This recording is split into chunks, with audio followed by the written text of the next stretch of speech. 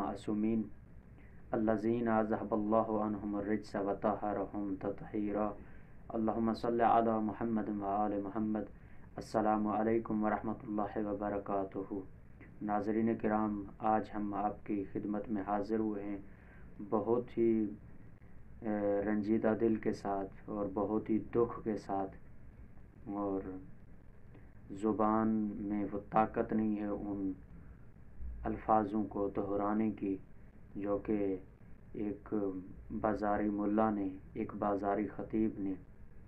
ख़तीब तो नहीं कह सकता, एक आवाज़ लगाने वाला, सदा देने वाला वाइज ही कह सकता हूँ, जो बाज़ारी मुल्ला है। एक तो नाम जो है उसका अशरफ है और काम उसके बेहयाओं वाले हैं।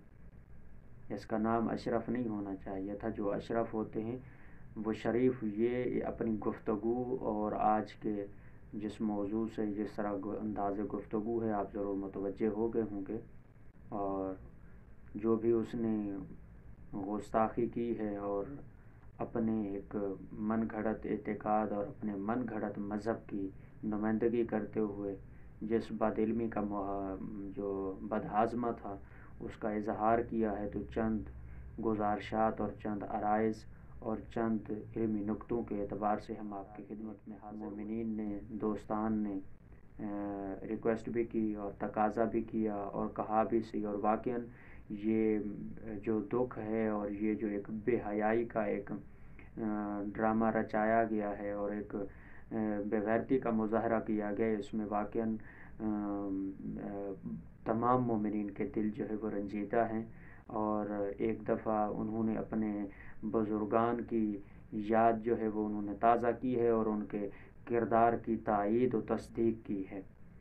और मैं किसी का भी नाम लेकर अपना वक्त ज़ाय नहीं करना चाहता, सिर्फ़ अपने मबदा और मकसद को जो है वो बयान कर। अबू तालब सलाम को चंद ही पहले दिन में कॉन्फ्रेंस बुलाई, जिसमें उसने इन्हीं चीज़ों का ज़िक्र किया और जनाब अबू तालब को अल्लाज़बिल्ला नवज़बिल्ला जो है वो काफिर करार दिया या मुसलमानों की दिल आज़ारी की गई उसमें और दायरा इस्लाम से हती उनको जो है वो ख़ारिज कर दिया गया।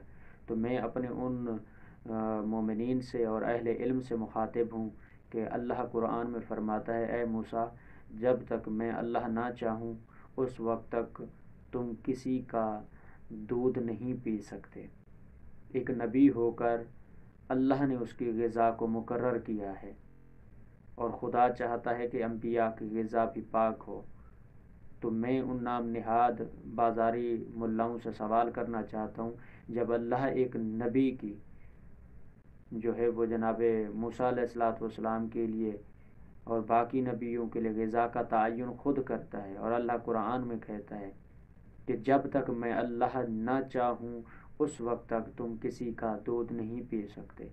एक दूध के लिए अल्लाह कुरान में आयत नाजल कर देता और जो रहमत आलमीन भी है, जो आदम से लेकर तमाम नबियों का सरदार है, उस नबी की गज़ा के लिए खुदा को जो है वो बिल्ला पता नहीं था, इल्म नहीं था, उसकी तस्दीक तइद नफ़ी खुदा नहीं कर सकता, या नबी अलैहिस्सलाम अपनी ज़िंदगी और हयात तय्यबा मुबारक में नहीं फरमा सकते थे, जिन्होंने पूरी ज़िंदगी जनाब अबू तालब के दस्तरखान पे जो है वो गज़ा तनावल फरमाई, अपनी जो है वो वहाँ पर परवरिश पाई, पूरी सिर्फ़ एक दो लुक में नहीं, पूरी ज़िंदगी रसूल खुदा सल्लल्लाहु अलैहि वसल्लम ने जनाब अबू तालब के दस्तरखान पे खाना तनावल फरमाया।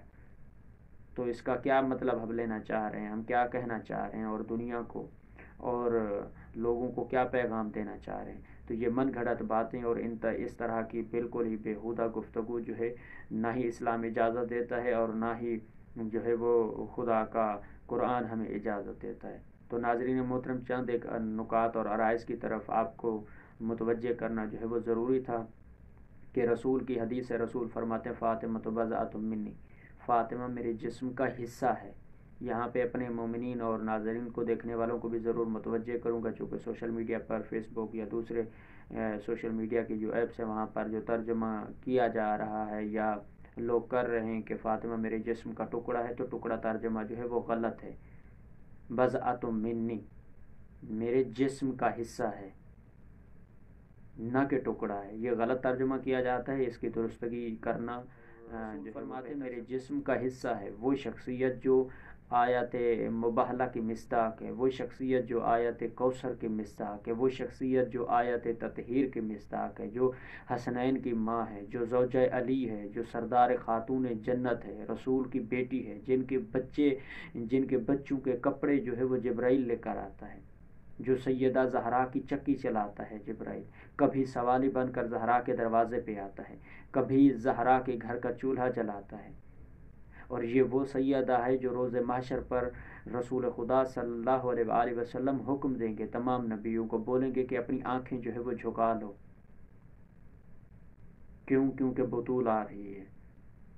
वो सैदा जिसको नबी के बाद बेटी को रसूल के बाद रोने की इजाज़त तक ना थी। बीबी ने बैतुल हिस्न की जगह को मुकर किया और वहाँ पर जाकर जो है वो बीबी गिरिया सिर्फ़ मैं ये कह सकता हूँ कि जब इंसान का ईमान जो है वो ख़त्म हो जाए तो वो ऐसी हरकतें करता है।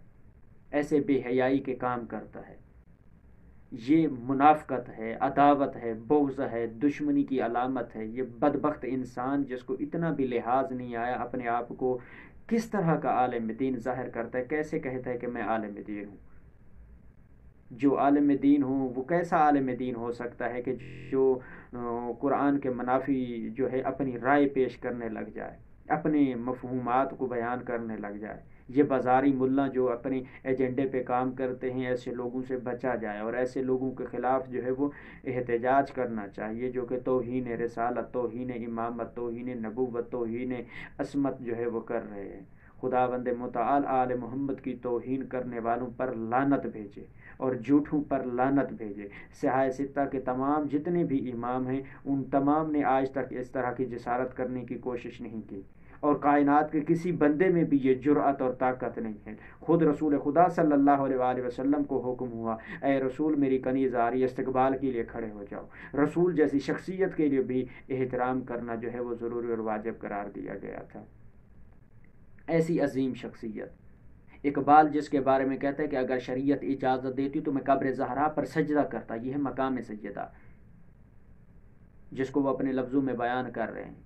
ये यजीदी किरदार की इतात कर रहे हैं और अपने आबाव अजदाद और अपने उन इमामों को जिनको ये मानते हैं, उनकी सीरत के ऊपर अमल करके ये बता रहे हैं कि हम वाक़ वही लोग हैं।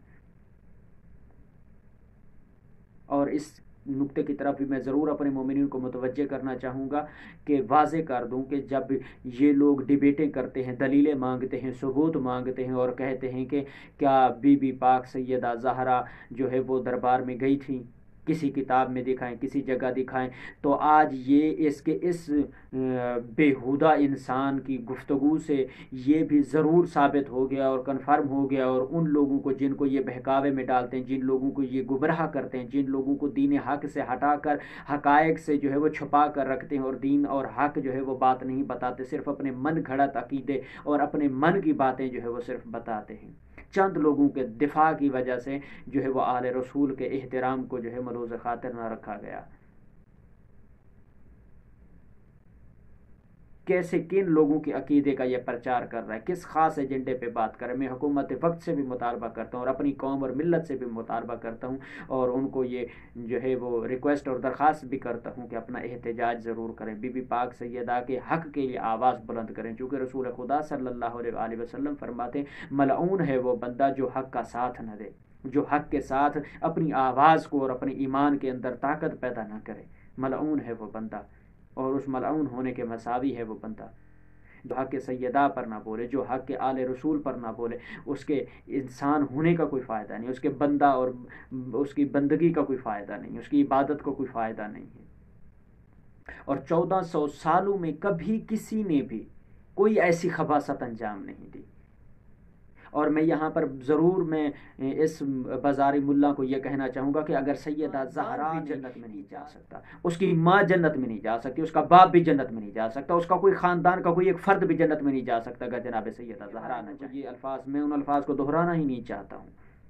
सिर्फ़ अपना मजम्मती जो अपना हक है, वो मैं ज़रूर बयान करना चाहूँगा और इस आवाज़ को ज़रूर बुलंद करना चाहूँगा और क़यामत के दिन सुरखरू होना चाहता हूँ कि, ए पाक सैदा जहरा, हमने आपके हक के लिए अपनी जान तक, अपनी माल तक, अपनी इज़्ज़त तक को भी कुर्बान करने के लिए तैयार हैं और आपके दिफा हक के लिए ताक़यामत खून के आखिरी कतरे तक भी अपनी जान जो है वो लड़ाते रहेंगे।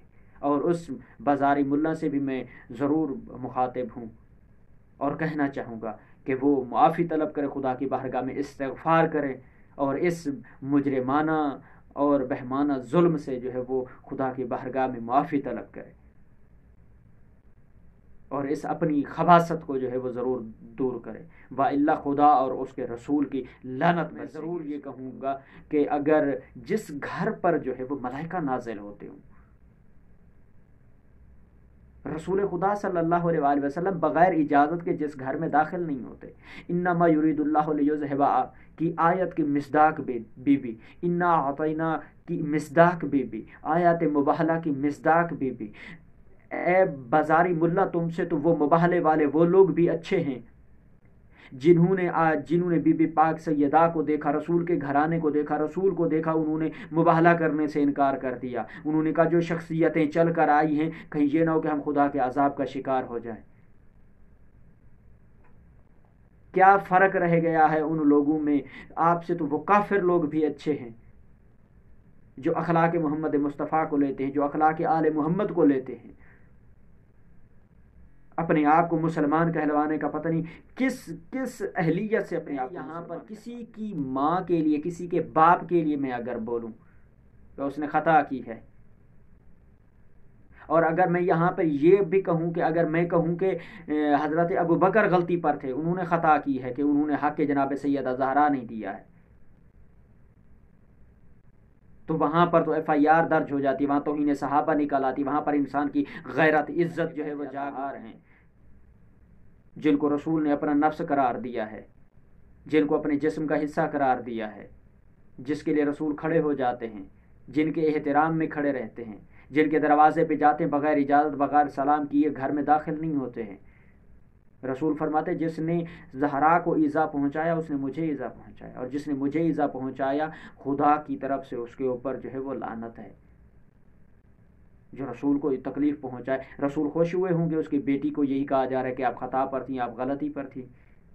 नौज़बिल्ला अल्लाह की लानत हो ऐसे लोगों पर जो आल मोहम्मद और आयत ततहीर के मिसदाक को इस तरह के अल्फाज से मुखातिब करके कहते हैं। बाजारी मुल्ला जो अपने इस, इन ऐसे अल्फाजात से अपने एक अकीदे का इजहार करते हैं और अपने मज़हब मज़हब का जो इकरार करते हैं तो आज दुनिया वालों को ये ज़रूर वाज पैगाम मिल गया होगा कि ये हक़ का मज़हब नहीं हो सकता, ये हक़ का दीन नहीं हो सकता। जिसमें आल रसूल की तो ऐसे बयान से ये ज़रूर वाज होता है कि बीबी दरबार में भी गई थी बीबी मैं ज़रूर कहना चाहूँगा कि जो असहाब जिन्होंने गलतियाँ की जो सिफीन में जनाब अली के मुकाबले में आए जो बाकी तमाम जंगों में कायनात के अमीर के मुकाबले में आ गए वो जो है वो इश्तहादी गलती उसको करार दिया जा रहा है। जनाब सैदा के बारे में ऐसे अल्फाज, जो नाजेबा अल्फाज, जो कि ना अखलाक के ना अखलाक को जेब देते हैं, ना ही किसी मुसलमान के शायान शान हो सकते हैं। मुसलमानियत के ऊपर भी एतराज़ और सवाल निशान लग चुका है कि किस तरह के ये ऐसे लोग जो है वो मुसलमान अपने आप को कहलाते हैं। जो अली के मुकाबले में लश्कर कशी करे, वो इश्तिहादी गलती पर हैं। और जो औलाद रसूल है, जो हिस्सा रसूल है, जो बज़ात मिन्नी की मजदाक है, जो आयत ततहीर की मजदाक है, जो आयत आयत कौसर की मजदाक है, जो आयत मुबाहला की मजदाक है, वो भी भी ख़ता पर है। क्या कहना चाहता है ये बाजारी मुल्ला? मैं अपने मकतब तशैय की तरफ़ से मजम्मत करता हूँ और अल्लाह की लानत हो ऐसे लोगों पर, जो आल रसूल पर ऐसी तहमत, ऐसा बहतान और इस तरह के नाजेबा बग़ैर अखलाकी अल्फाज से जो है वो इंतखब करके गुस्ताखी अहल बैत करते हैं। तोहन अहल बैत करते हैं तोहन आल रसूल करते हैं। आज दुनिया को खुला पैगाम जाना चाहिए कि ऐसे लोग ना ही हक गो हो सकते हैं, ना ही हक परस्त हो सकते हैं और ना ही दीन की हकानियत पर कायम रह सकते हैं। और उन सादात से बिलखस मुखातिब हूँ कि जिनकी जद्दा भी हैं, जो तमाम सादात का जो है वो मरकज़ व महवर भी हैं, जो दरूद मोहम्मद आल मोहम्मद का मरकज़ हैं। अगर रसूल की औलाद है, रसूल की बेटी है बीबी पाक सैदा तो जिस दरूद को हम तिलावत करते हैं, उस दरूद में अगर बीबी पाक सैदा ही ना रहें, और वो दरूद किस काम का रहेगा? जिसमें सैदा जो मरकज़ आल हैं, आल रसूल का मरकज़ है जनाब सैदा जहरा, अगर वो ही ना रहें तो फिर उस दरूद दरूद का क्या फ़ायदा है जो हम पढ़ते हैं, जिसको हम ज़िक्र करते हैं, जो हमारी नमाज़, इबादत, हर उठते वक्त, बैठते वक्त, हर मुश्किल का हल हमारे लिए दरूद रसूल करीम सल्लल्लाहु अलैहि वसल्लम है। और उस आल में अगर मरकज़ औलाद, मरकज़ आल रसूल जो है वो ना हो, और उसके बारे में तोहन की जाए तो क्या रसूल खुदा खुश हुए होंगे? अल्लाह की लानत हो ऐसे लोगों पर जो तोहन आल रसूल करते हैं, जो तोहन मोहम्मद आल मोहम्मद करते हैं। एक ऐसा एक दुख और एक ऐसी रंजीदगी दिल में थी जो मोमिन ने भी अपने ज़ाहरन में यकीनन ये कह सकता हूँ। और ये कहना भी चाहिए कि वाकई तमाम मोमिन के दिल रंजीदा हैं और वो इस दुख को बर्दाश्त नहीं कर पा रहे हैं। खुदा बंद मताल ऐसे लोगों को अपनी ज़ुबानी और अपने मुँह जो है इनके अकीदे और इनके मज़हब को जो है वो आश्कार फरमाए और इनके नंगेपन को और इनके मन घड़त अकीदों को इन्हीं के ज़ुबानी जो है वो इकरार करा के इनकी मज़हब की जो मन घड़त बातें हैं उनको ज़ाहिर करें। और खुदा का वादा है खाल के कायनात फरमाता है वकुल जाल हक वजह कर बातिल इन बातिल काना जहूका। हक को जितना भी छुपाया जाए, नहीं छुप सकता। क्योंकि हक के जहरा जो है, वो क़यामत के बरोज़ महशर भी बेबी पाक सैदा का मुकदमा उजागर किया जाएगा। और वहाँ पर खुदा बंद मताल की ज़ात ही फैसला करेगी। इन्हीं अल्फाज के साथ आप लोगों से इजाज़त चाहता हूँ। खुदा बंद मुताल से दुआ गो हूँ कि खाले के कायनात ऐसे जलील और रजील लोगों को रसवा फरमाए और ऐसे लोगों को जहन्नम वासिल करे और ऐसे लोगों को इस्तफ़ार की तोफ़ी कैसे लोगों से सल्ब कर ले।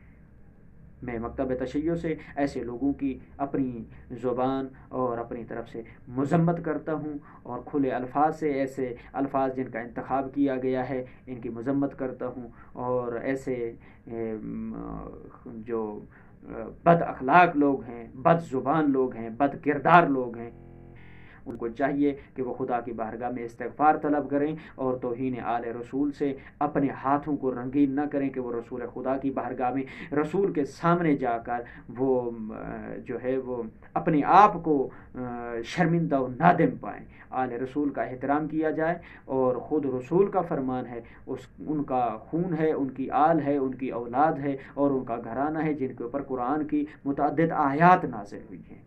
तो नाजरन कराम चलते हैं हम इन इजाज़त चाहते हैं। खुदा वंद मताल हमें आल रसूल का एहतराम करने की तोफ़ी अता फ़रमाए और रसूल खुदा अलैहि वसल्लम हम ख़त्मी मरतबत ख़ातमबिया सुल्तानबिया अलैहि वसल्लम की ज़्यारत नसीब फरमाए जन्नत फरमाए। जिन्होंने रोज़ा सैदा पाक ताहिरा बीबी का रोज़ा उन्होंने मिसमार किया और भी पर मजालम ढाए खुदा उनके ऊपर लानत फरमाए। अल्लाह की, मलाइका की और मुसलमानों की और मकतब तशैयों के तमाम की तरफ़ से उनके ऊपर लानत हो। अल्लाह बार बार उन पर लानत बरसाए और उन्हें जहन्नम का ईंधन करार फरमाए। वसलम वरहमल